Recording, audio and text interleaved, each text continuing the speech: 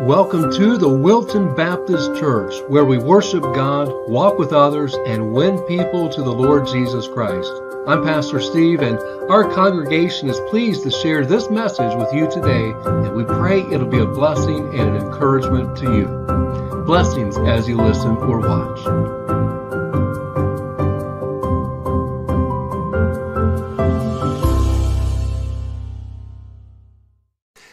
A couple weeks ago, we talked about the perfect baby. Then last week, the perfect family. And now, the perfect ruler. The perfect ruler is Christ. And so I hope that uh, you have your Bible or you have a tablet or something you can follow along, maybe even on your phone uh, with Isaiah chapter 9. Isaiah chapter 9 in your copy of Scripture. I like Charlie Brown. Anyone like Charlie Brown? Peanuts and Snoopy. He's like the perfect dog. I love beagles.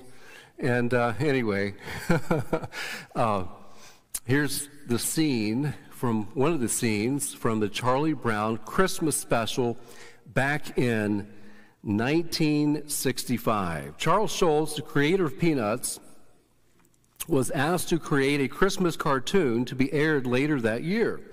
He and his producers took a couple hours and they sketched out the idea of what they hoped to achieve with this, uh, this cartoon for Christmas. They had an ice skating scene, a pageant, a Christmas pageant, a mix of Christmas carols and the, uh, that jazz music that, that is uh, known on, on Snoopy.